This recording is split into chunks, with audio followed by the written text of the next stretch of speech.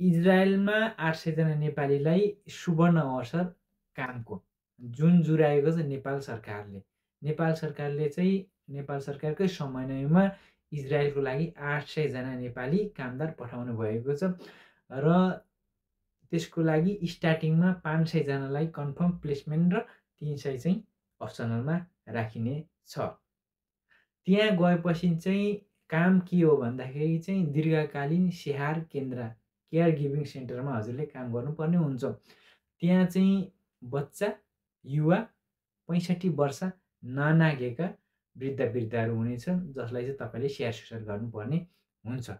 यदि स्यालेरीको हकमा कुरा गर्नुहुन्छ भने नेपाली दुई लाख दस हजार तपाईँको स्यालेरी एराउन्डमा हुन्छ। र त्यहाँ अथवा त्यस कामको लागि एप्लाई गर्न हजुरलाई के क्वालिफिकेसन चाहिन्छ त्यो पनि बुझिहाल्नुहोस्। यदि तपाईँ एसएलसी पास हुनुहुन्छ भने तपाईँले सिएमए अथवा अनमी पढेको हुनु पर्यो ठिक छ? यदि तपाईँ प्लस टू पास हुनुहुन्छ भने तपाईँले कुनै पनि नेपाल सरकारबाट मान्यता प्राप्त ट्रेनिङ सेन्टर इन्स्टिच्युटमा गएर हजुरले ट्रेनिङ लिएको हुनु पर्यो केयर गिभिङ सम्बन्धी मिनिमम तिन महिना।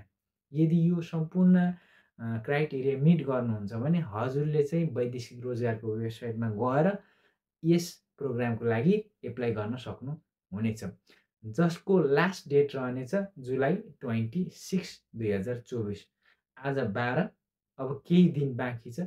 छिटो गर्नुहोस् यो प्रोग्रामको लागि एप्लाई गर्नुहोस्। हजुरको नसिबमा रहेछ भने तपाईँ इजरायल जान सक्नुहुन्छ। यदि यस्तै अन्य जानकारी चाहनुहुन्छ भने कृपया गरेर मेरो फेसबुक पेजलाई फलो गर्न नबिर्सिनुहोला। जय नेपाल।